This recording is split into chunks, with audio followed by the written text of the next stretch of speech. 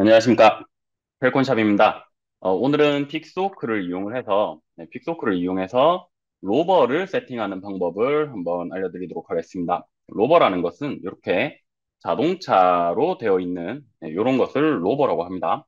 로버 세팅을 통해서 우리는 어, 자동차를 이제 Pixhawk를 통해서 제어를 하고 미션을 짜서 자동으로 자동차가 원하는 곳으로 주행을 하게 하는 예, 그런 작업들을 할 수가 있겠죠.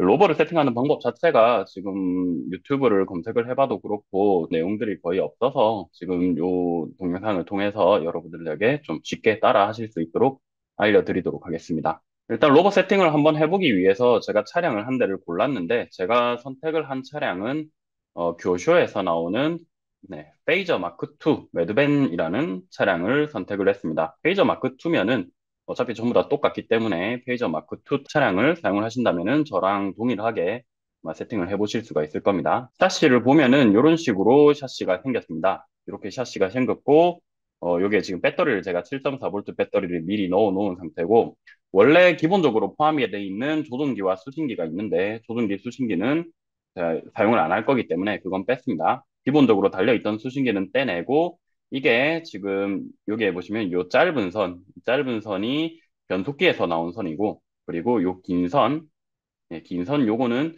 서보에 달려있는 선입니다. 요 두 개를 이제 Pixhawk에 연결을 해서 사용을 하게 되겠죠. 먼저 Pixhawk를 여기에다가 어떻게 부착을 해야 되는데 위에 보면은 이게 평평한 부분이 거의 없기 때문에 Pixhawk 본체를 장착할 만한 부분이 조금 마땅치 않았습니다. 그래서 제가 여기에 장착을 하기 위해서 여기다 좀 평평하게 판을 하나 댔으면 좋겠다라고 생각을 했거든요. 그래서 판을 하나, FRP 판을 좀 절단을 해서 판을 하나 만들었습니다. 가져와 볼게요. 자, 이런 식으로 FRP 판을 절단을 해서 어, 평평한 평판을 하나 만들었어요. 그, 그냥 이렇게 잘라낸 거죠. 잘라내서 평판을 만들었고 요 판만, 요 판 한 장만 가지고는 조금 낭창낭창해서 요 위에다가 하바로 플라스틱으로 한 겹 좀 더 씌웠습니다. 이렇게 해서 약간 어느 정도 단단한 그런 판을 하나 만들었고요. 판 길이는 어, 차량의 요쪽과 요쪽이 마침 수평을 이루고 있더라고요. 그래서 이렇게 부착을 할 수 있게 네, 이렇게 길이를 잘 맞춰서 제작을 했습니다.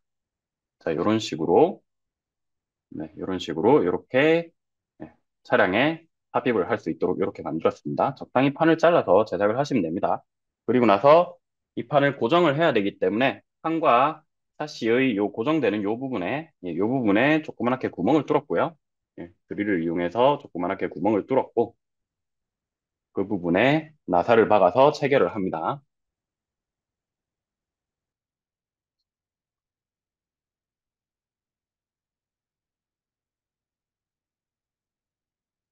자, 이렇게 판을 체결을 해서 요 위에다가 이제 빅소크를 얹을 수 있는 이런 공간을 마련을 한 거죠. 빅소크도 얹어야 되고 나중에 이제 BPS도 얹어야 되기 때문에 이런 공간을 하나 마련을 했습니다. 그런데 이걸 해보니까 또요 판만 얹어져 있는 상태에서는 이게 좀 낭창낭창하는 네, 이렇게 위아래로 좀 까딱까딱하는 이런 문제가 조금 있어서 어, 스티로폴을 조금 잘랐어요. 스티로폴을 조금 잘라서 네, 딱요 높이에 맞게끔 이렇게 잘랐습니다. 이렇게 잘라서 이게 이제 받칠 수 있게끔 그렇게 제작을 했어요.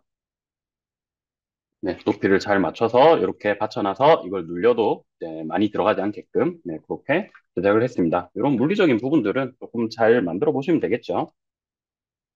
자, 그리고 나서 이제 픽소크를 장착을 합니다. 픽소크에는 뒤쪽에 양면 테이프를 이용해서 픽소크를 여기 본체에다가 부착을 할 거예요. 지금 이 차량 같은 경우는 이쪽이 앞쪽입니다. 이쪽이 앞쪽이에요. 그렇기 때문에 빅소크의 화살표가 앞쪽을 보게끔 부착을 합니다. 차량의 중간 부분에 빅소크 본체가 이렇게 장착이 되면 됩니다. 이렇게 장착을 하고 양면 테이프가 잘 붙게끔 꾹꾹 눌러주시고요. 자, 그리고 이제 GPS를 연결해 볼게요. GPS도 양면 테이프를 이용해서 여기다가 붙여주시면 됩니다. 여기에다가 붙이면 되는데 GPS에도 보면은 어, 잘 안 보이지만 여기 화살표가 있어요. 화살표 보이시죠? 예, 이 화살표가 픽소크와 동일하게 앞쪽을 차량의 앞쪽을 보게끔 그렇게 장착을 해주시면 됩니다. 이렇게 양면 테이프로 붙여주시면 돼요. 어, 픽소크 그 본체에 보시면은 여기에 음, GPS라고 적혀 있는 부분이 있어요. 예, 예, GPS라고 적혀 있는 부분, 거기에 요 GPS 케이블을 연결을 하시면 되고, 그리고 한 개 더 있는 거, 어, GPS에서 나오는 선이 하나가 더 있죠. 요거는 밑에 보시면 I2C라고 적혀 있는 케이블이 있습니다. 그 I2C라고 적혀 있는 단자 쪽에 연결을 해줍니다. 이렇게 GPS를 연결합니다. 자, 그리고 부저를 하나 달아야 됩니다. 부저는 여기 보시면은 부저라고 적혀 있는 부분 있죠? 부저. 예, 거기에다가 부저를 장착을 해줍니다. 자, 그리고 파워 모듈. 이것도 연결을 해야 됩니다. 파워 모듈.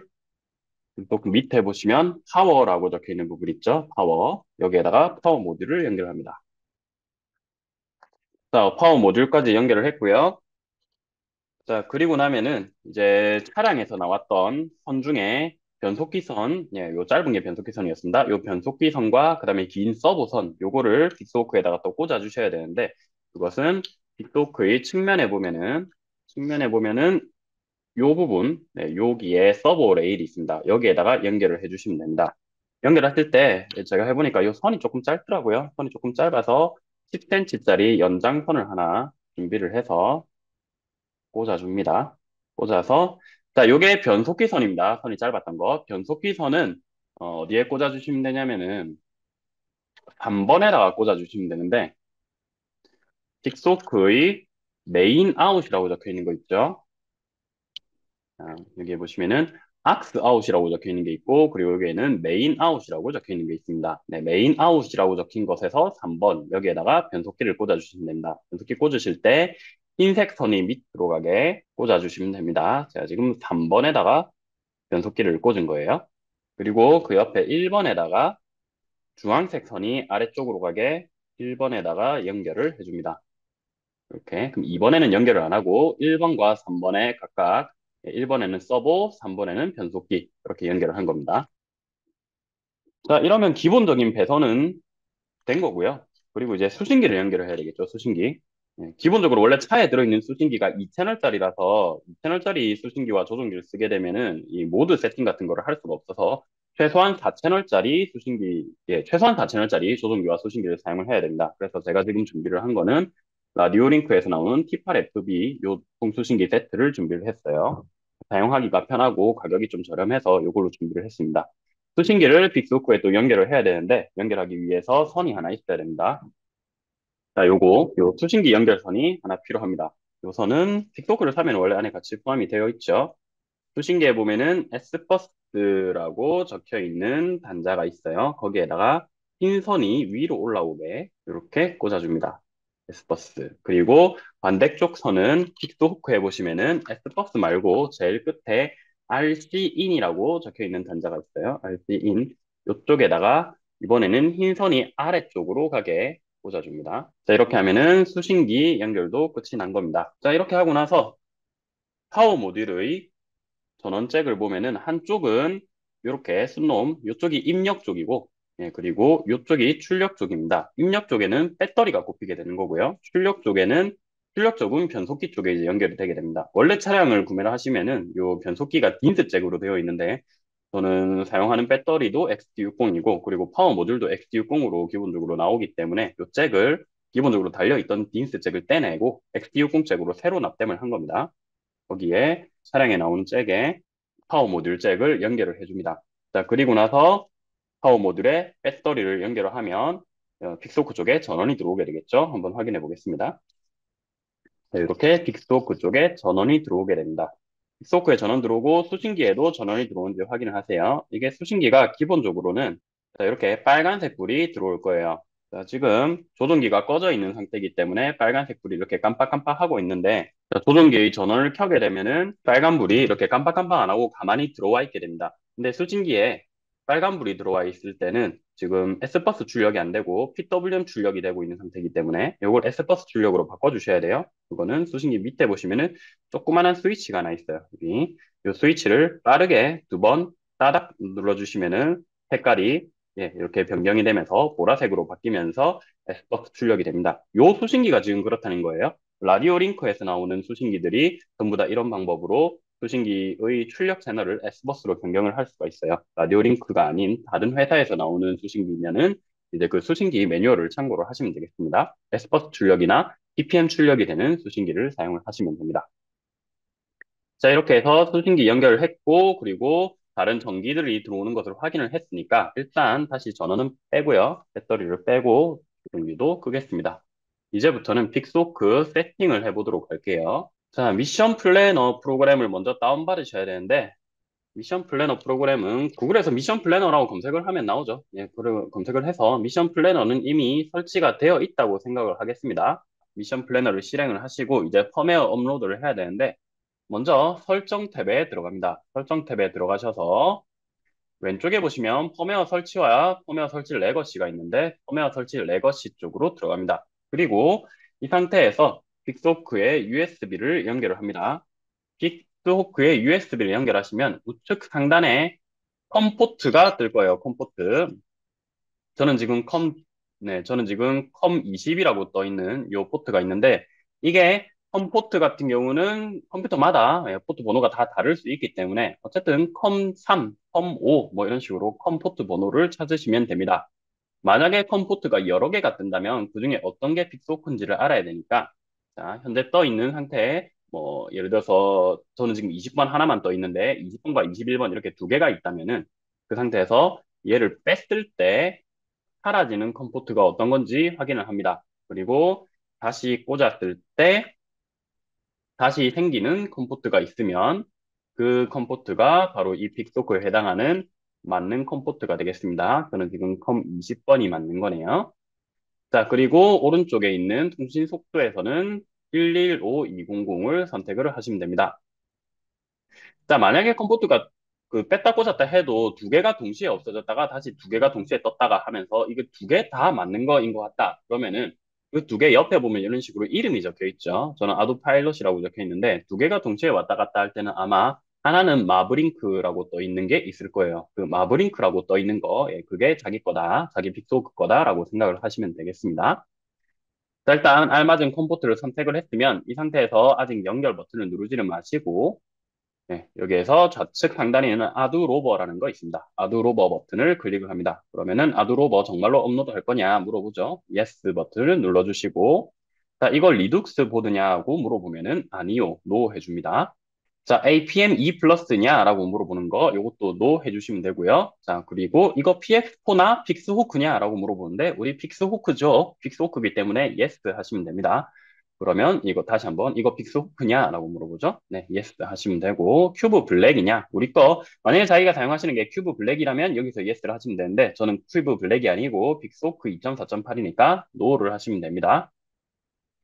자, 업로드 ChibiOS 물어보는데 no 하시면 됩니다.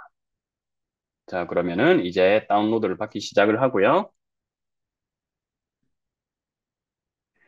자, 여기에서 순서가 중요합니다. OK 버튼 바로 눌러버리시면 안 되고, 이 상태에서 USB를 빼고, 그리고 OK를 누르고, 이제 30초 이내에 USB를 다시 꽂아줍니다. 바로 꽂으면 됩니다. 자, 그러면은 화면에 Erase라고 뜨면서 현재 설치가 되어 있는 펌웨어를 삭제를 하기 시작을 할 거예요. 어, 이레, 이레지가 끝나고 나면은 이제 방금 다운받은 펌웨어를 다시 업로드를 합니다. 자, 업로드가 완료가 되고 나면은 upload done이라고 이렇게 메시지가 뜨고 잠시 기다리면은 Pixhawk가 부팅을 하기 시작하는 것을 볼 수가 있습니다. 부팅이 끝나고 나면은 여기에 우측 상단에 COM포트에서 COM포트가 바뀌어 있을 거거든요. 네, 저는 20 그대로 있는데 어쨌든 COM포트가 바뀌어 있을 겁니다. 네, 바뀐 COM포트를 선택을 하고 115200 되어 있는 것을 확인을 해서 연결 버튼을 누르시면 되는데 현재 펌웨어 설치 창에 있는 상태에서 연결을 하시지 마시고 데이터 탭으로 빠져나갑니다. 이렇게 데이터 탭으로 빠져나간 상태에서 연결 버튼을 눌러줍니다.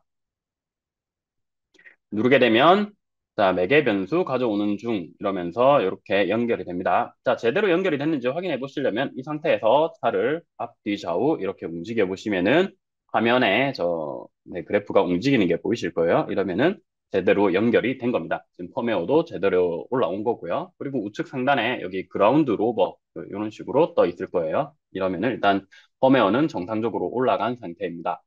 이제부터 세팅을 하도록 하겠습니다. 제일 먼저 설정 탭에 들어가서 우리 펌웨어 설치는 지금 했죠. 펌웨어 설치는 했기 때문에 필수 하드웨어 들어갑니다. 프레임 형식 쪽에서는 이게 드론이면은 이런 것들을 선택을 해줘야 되는데 얘는 로버기 때문에 선택을 할 게 없습니다. 가만히 놔두시면 되고 가속계 교정 쪽으로 들어갑니다. 자, 가속계 교정. 제일 처음에 가속계 교정 버튼을 눌러서 자, 베이크를 레벨로 두어라. 이 수평 상태로 가만히 두어라. 이 말이죠. 예, 차량을 수평으로 놓고 완료 버튼. 그리고 왼쪽으로 놓아라. 베이크를 레프트. 자, 우리 차량은 지금 이쪽이 앞입니다. 이쪽이 앞이기 때문에 이쪽을 기준으로 왼쪽이면은 요렇게 놓으면 되는 겁니다. 요렇게 차량을 놓고 어, 요 가속도 센서 교정할 때는 차량을 흔들리거나 하지 않게끔 잘 잡은 상태에서 예, 완료 버튼을 눌러줍니다. 그리고 나면은 오른쪽으로 예, right 오른쪽으로 돌려놓고 다시 완료. 자, nose down. 자, 이쪽이 nose니까 코 부분이니까 코를 땅으로 가게끔 이렇게 예, 정확하게 수직으로 놓고 완료. 그리고 nose up. 네, 코가 위로 올라오게끔 이렇게 놓고 완료. 마지막으로 back. 차량을 뒤집어 놓고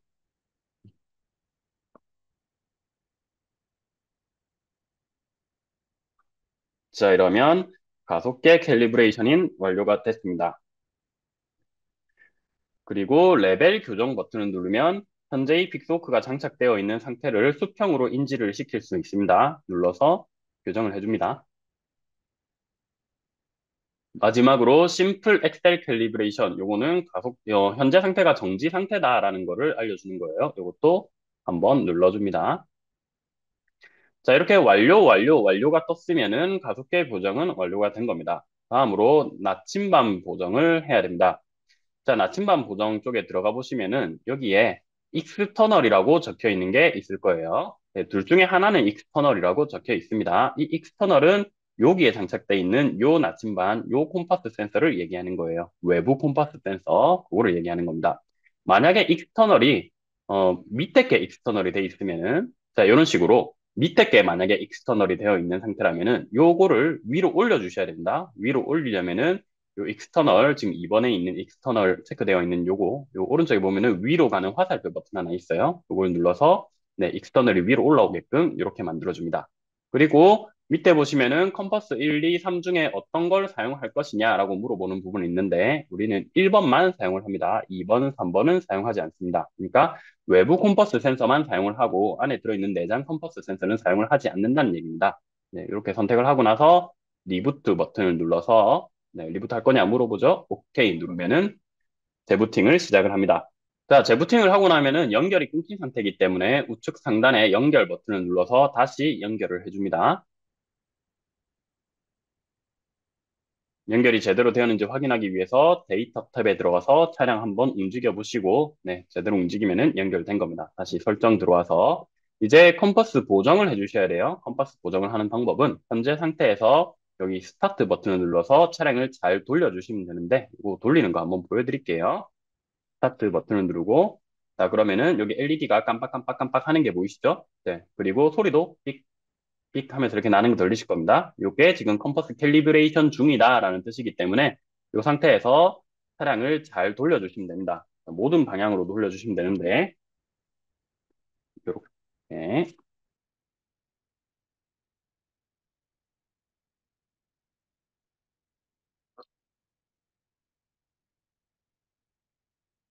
자 이렇게 띠리링 하면은 끝이 난 겁니다. 컴퍼스 calibration은 끝이 났고요. 자, 끝이 나고 나면은 재부팅 할 거냐고 또 물어봅니다. 여기서 OK 버튼 누르면은 빅토크가 재부팅을 시작을 합니다. 재부팅을 안 하네요. 네, 여기 다시 reboot 버튼을 눌러서 재부팅을 해줍니다. 오케이. 재부팅을 했고 다시 연결 버튼을 눌러줍니다.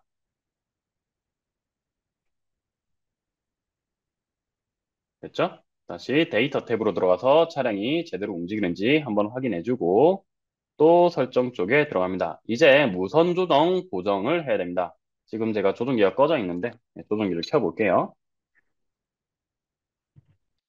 자, 조종기를 키면 이런 식으로 화면에 그래프가 나와야 됩니다.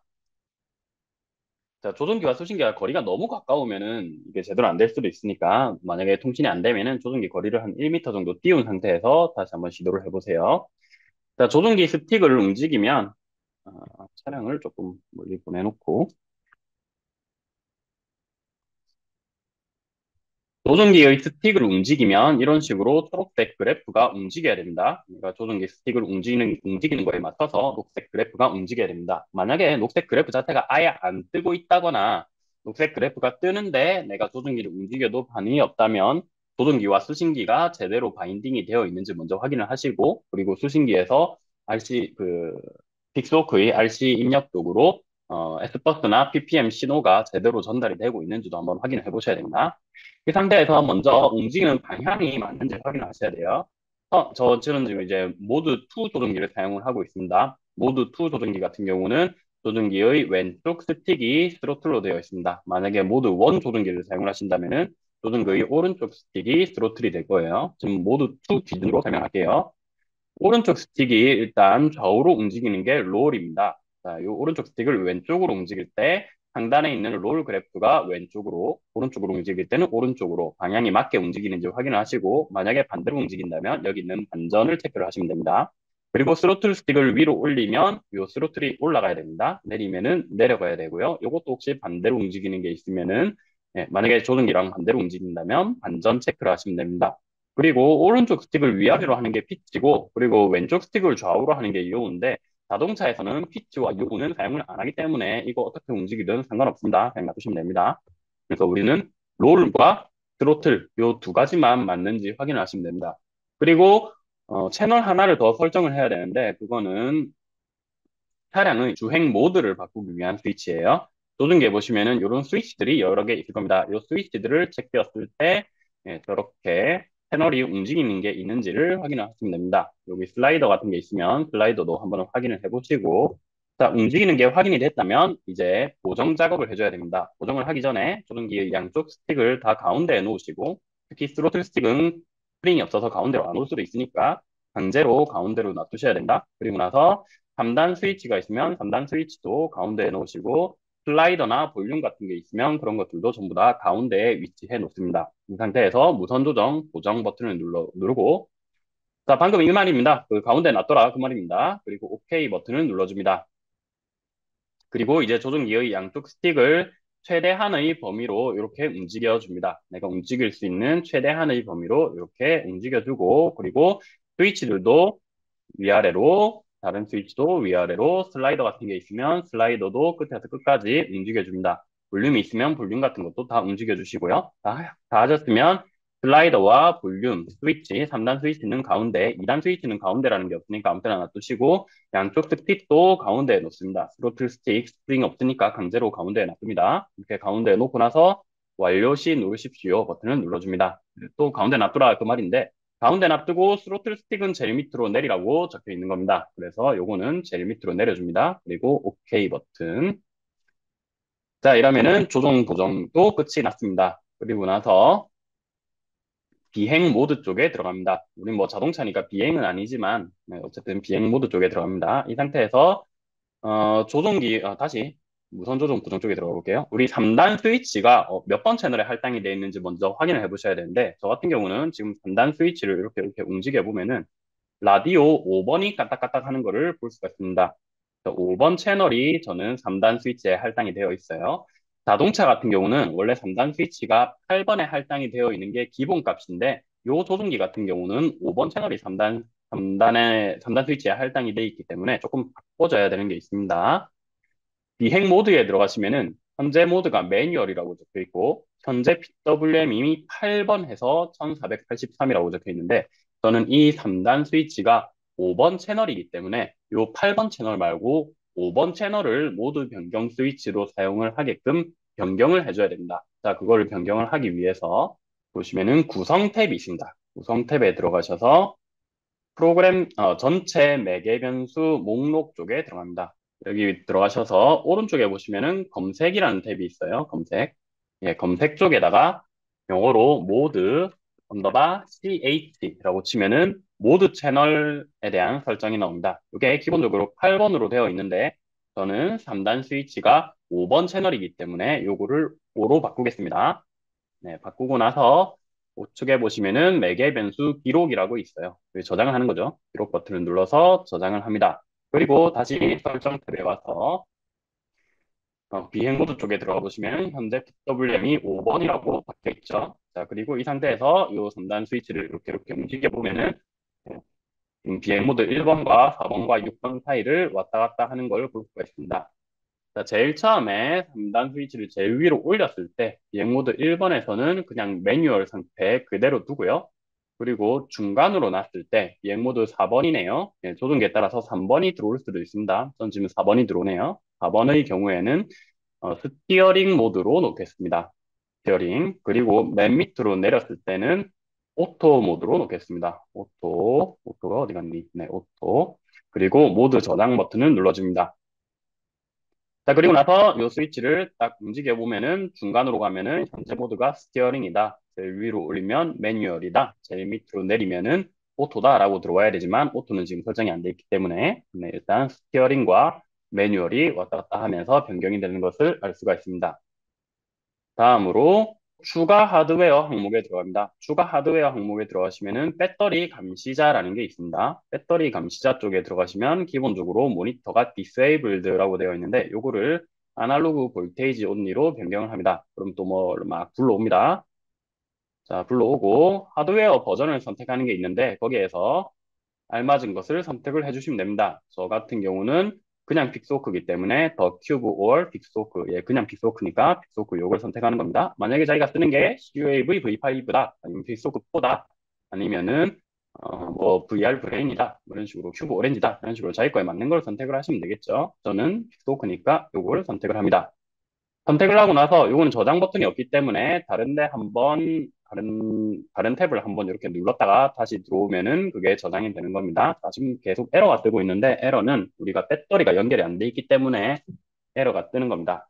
이제 한번 배터리를 연결을 해볼게요. 상태에서 예, 들어온 Pixhawk에 배터리를 지금까지는 우리가 안 꼽았죠. 배터리를 꽂아줍니다. 배터리를 꽂고 나서 다시 다른 탭에 한번 갔다가 오면은 네, 여전히 안 되네요. 그러면은 재부팅을 한번 해보도록 하겠습니다. Pixhawk 재부팅을 하기 위해서는 현재 창에서 키보드의 컨트롤 F를 눌러줍니다. 네, 키보드의 컨트롤 F 버튼을 누르면 중간쯤에 픽스호크 다시 시작이라는 버튼이 있어요. 이 버튼을 눌러서 Yes 버튼을 눌러주면은 네, 재부팅을 하게 됩니다. 재부팅을 하고 나서 다시 연결 끊겼기 때문에 또 연결 버튼을 눌러줍니다.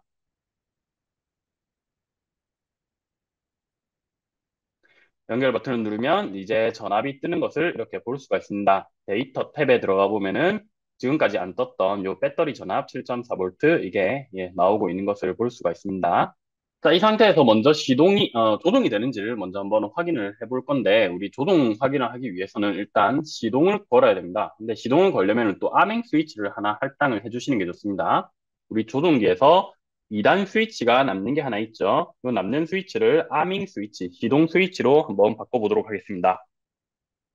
자, 설정에 들어가서 필수 하드웨어에서 무선 조종 보정 쪽에 들어가서 내 조종기에 있는 2단 스위치가 몇 번 채널에 할당이 돼 있는지 확인을 해봅니다. 저 같은 경우는 지금 이 2단 스위치를 까딱까딱 하니까 7번이 움직이는 것을 볼 수가 있죠.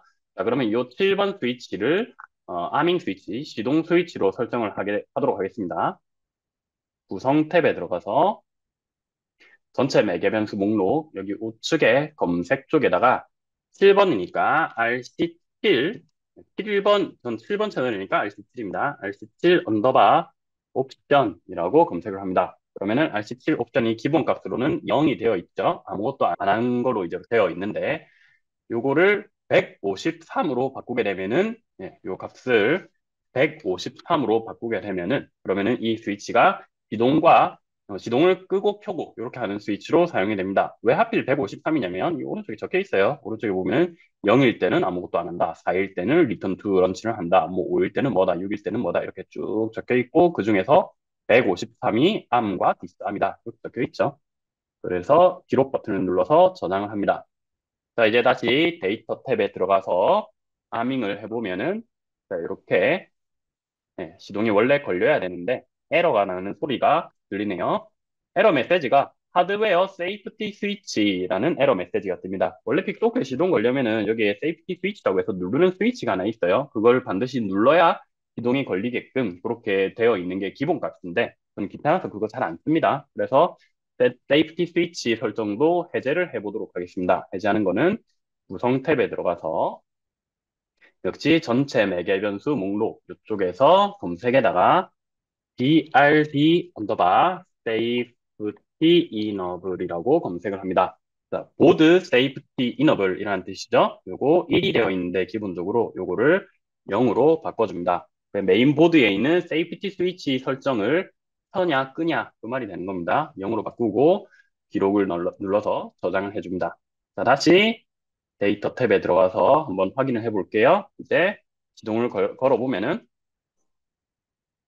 재부팅을 해야 되겠네요. 자, 재부팅하기 위해서 컨트롤 F 눌러주고 다시 시작. Yes. 자, 다시 연결 버튼을 누르고 자, 시동 한번 걸어보겠습니다. 이렇게 시동 버튼을 제끼면 armed라고 뜨면서 시동이 걸립니다. 만약에 시동이 안 걸린다면 현재 모드가 매뉴얼 모드가 맞는지 확인을 해보세요. 이 3단 스위치가 제일 위로 올라가 있어야 매뉴얼 모드가 되는 겁니다. 예, 현재 매뉴얼 모드에서 세팅을 해야 됩니다. 매뉴얼에서 다시 기동 스위치를 제끼면 armed라고 뜨면서 시동이 걸립니다. 자, 이 상태에서 어, 네, 이 상태에서 이제 스로틀 스틱을 위로 올리면은 이렇게 모터가 돌아가기 시작합니다. 모터가 돌아가는 거죠. 자, 그런데 우리는 차량이기 때문에 후진도 해야 돼요. 지금 요 스틱을 이용해서 이 스로틀 앞뒤를 해보면은 후진이 안 됩니다. 앞으로 밀면 앞으로 가는데 여기서 더 이상 뒤로 당길 수가 없죠. 그렇기 때문에 보통 우리 차량에 사용을 할 때는 중간을 기준으로 해서 중간보다 위로 올리면 전진, 중간보다 밑으로 내리면 후진 그런 식으로 세팅을 많이 합니다. 그렇기 때문에 그렇게 세팅 값을 좀 변경을 해보도록 하겠습니다. 자, 세팅 값을 변경을 하고 나면은 차량이 갑자기 후진을 할 수가 있기 때문에 차가 후진하지 않게 일단 배터리를 빼놓고 할게요. 네, 배터리를 빼놓고 배터리가 빠져 있으면 지가지게 배터리가 없으니까 돌려도 안 돌아가죠. 자, 이 상태에서 구성 탭에 들어갑니다. 구성 탭에 들어가면은 전체 매개 변수 목록 이쪽에서 RC3 trim이라고 검색합니다. RC3 underbar trim. 이러면은 3번 채널의 trim 값을, 어, 3번 채널의 중립 값을 설정을 해주는 거예요. 이게 기본적으로는 1000이라고 돼 있는데 이것을 1500으로 바꿔줍니다. 그러면은 이게 3번 채널이거든요. 3번 채널이 1500 중간이 중립이다 라고 저, 어, 설정을 할 수가 있는 겁니다. 이렇게 하고 나서 기록 버튼을 눌러서 저장을 합니다. 자, 저장을 했으면 다시 재부팅을 한번 할게요. 컨트롤 F 눌러서 다시 시작. 오케이. 자, 재부팅이 됐고요. 다시 배터리를 연결을 해보겠습니다. 배터리를 연결을 하고 자, 차를 좀 들고 가겠습니다. 차가 앞으로 가버릴 거기 때문에 이 상태에서 시동을 걸고 시동 걸었죠? 이제 트로틀 스틱을 앞으로 밀면 차가 전진을 하고 뒤로 당기면 전진을 하는 걸 볼 수가 있습니다. 그래서 앞으로 하면 전진 그리고 뒤로 당기면 자, 중간으로 갔다가 다시 뒤로 당기면 전진 자, 이거 뒤로 당길 때 왜 한 번에 후진이 안 되냐고 궁금하신 분들이 계실 건데, 이건 아마 RC 카를 한번 굴려보신 분들이라면은 당연히 그런 건데라고 또 생각을 하긴 하실 거예요. RC 자동차 같은 경우는 전진을 할 때는 한 번만 밀면 전진을 하는데, 후진을 할 때는 한번 당긴다고 후진을 하지 않고, 한번 당겼다가 한 번더 당겨야, 그러니까 두 번째 당길 때 후진을 합니다. 처음에 한 번 후진, 후진 신호를 줄 때는 브레이크가 그냥 걸리는 거고, 그 다음에 중립으로 다시 왔다가 다시 후진을 하면 그때서야 후진을 하게 되는 겁니다. 서버도 움직이는지 한번 확인해 볼게요. 서버는 1번 스틱 요거로 가지고 왼쪽, 오른쪽, 왼쪽, 오른쪽 이렇게 하면은 예, 조향이 먹는 걸 볼 수가 있습니다. 자, 그런데 방향이 지금 좀 반대로 움직이는 것 같네요. 이렇게 놓고 봤을 때 우리 조향 스틱을 왼쪽으로 하면은 예, 왼쪽으로 가야 되는데 바퀴가 오른쪽으로 움직이고 있죠. 오른쪽으로 하면 왼쪽으로 움직이고 있고 이럴 때는 뭐가 잘못되었는지 먼저 확인을 해봐야 될 게 혹시 조종기가 reverse인지를 먼저 확인해 봐야 되는데 설정 쪽에 들어가서 무선 조정 보정 쪽에 들어가서 요거 왼쪽 오른쪽으로 움직일 때 저 롤 축이 맞는 방향으로 움직이는지를 확인합니다. 요거를 왼쪽으로 제낄 때 롤 그래프가 왼쪽으로 가고 오른쪽으로 제낄 때 롤 그래프가 오른쪽으로 가고 저렇게 움직이면은 지금 맞는 겁니다. 자 그럼 맞는데 왜 반대로 움직이지? 라는 걸 생각을 해야 되는 거죠. 맞는데 반대로 움직일 때는 구성 쪽에 들어가서 예, 전체 매개변수 목록에서 검색에 RC1 언더바 리버스드라고 검색을 합니다. 그러면은 RC1이 조향 채널입니다. 조향 채널. 요게 반대로 이게 기본값은 0으로 돼 있는데 요거를 1로 바꾸게 되면은 예, 요거 방향을 반대로 바꿀 수가 있습니다. 하고 나서 기록 버튼을 눌러주시고 이제 조종기를 좌우로 움직여 보면은 왼쪽, 오른쪽 예, 이제 맞는 방향으로 이렇게 움직이는 걸 볼 수가 있습니다. 자, 그리고 만약에 내가 전진을 했는데 차가 후진을 한다. 그리고 후진을 했는데 차가 전진을 한다. 이런 식으로 앞뒤가 반대로 움직이고 있다면 마찬가지로 RC1 리버스드가 아니고 RC3 reversed 이쪽에서 값을 1로 바꿔주시면은 전진, 후진이 혹시 반대로 될 때 예, 그걸 변경을 할 수가 있습니다. 근데 그럴 일은 아마 없을 거예요. 조향이 반대로일 가능성은 있어도 예, 앞뒤가 반대로일 가능성은 없을 겁니다.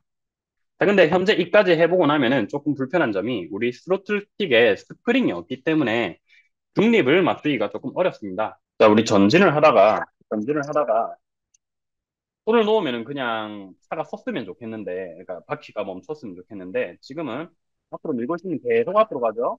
그리고 요거를 반대로 중간으로 놓아야 이게 정지를 합니다. 그러니까 이것처럼 차라리 스프링이 있으면 편하겠는데, 스프링이 없어서 더 불편하게 되는 거죠. 그래서 요거를 스프링이 있는 쪽으로 채널을 좀 바꿔보도록 할게요. 지금은 3번 채널이 요 스로틀 채널이 돼 있는데 요거를 이거는 2번 채널입니다. 2번 채널이 스로틀 채널이 되게끔 한번 변경을 해보겠습니다. 일단 차량의 배터리는 빼놓고 자 구성에 들어가서 전체 매개 변수 목록에 들어가서 RC 맵 스로틀이라고 검색을 해보면 스로틀이 몇 번 채널로 몇 번 채널을 스로틀로 할 거냐라고 물어보는 부분입니다. 여기에 기본값이 3번으로 되어 있는데 이것을 우리는 2번으로 변경을 해줍니다. 그리고 나서 매개 변수 기록 버튼을 눌러주시고 자 이제 다시 재부팅을 한번 하고요 일단 요거 시동을 끄고 컨트롤 F 눌러서 재부팅을 합니다. 다시 시작 다시 연결을 해볼게요.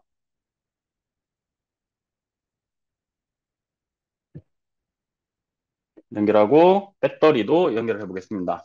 차량에 배터리도 연결을 하고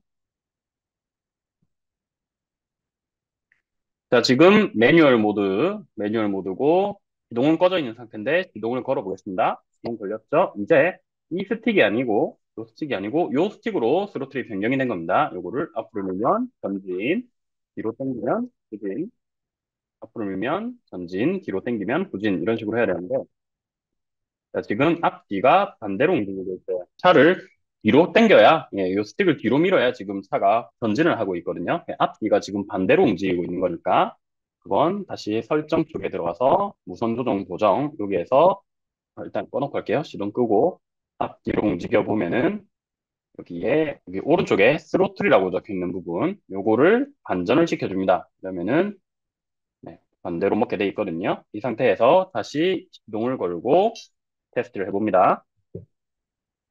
앞으로 밀면 전진, 네, 앞으로 밀면 전진, 그리고 뒤로 당기면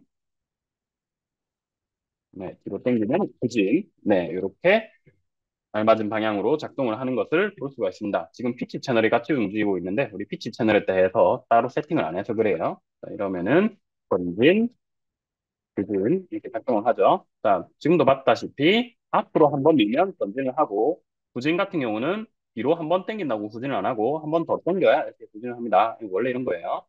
자, 여기까지가 기본적으로 rover 세팅, 매뉴얼 모드에서 하기 위한 세팅입니다. 사실 매뉴얼 모드에서 우리가 할 거면은 이런 뭐 귀찮은 세팅, 뭐 Pixhawk 연결하고 이런 것도 다 필요 없죠. 그냥 Pixhawk 연결 안 하고 조종기랑 수신기만 있으면 할 수가 있는데 근데 우리가 실제로 하려고 하는 거는 이 매뉴얼 모드가 아니고 나중에 steering 모드랑 auto 모드를 하기 위해서 우리가 이런 것들을 지금 하고 있는 거죠. 자, 오늘 지금 요까지는 일단 매뉴얼 모드에서의 차량 운행에 대한 세팅인 거고 steering 모드와 auto 모드의 세팅하는 방법에 대해서는 2부에서 다시 계속 이어서 하도록 하겠습니다.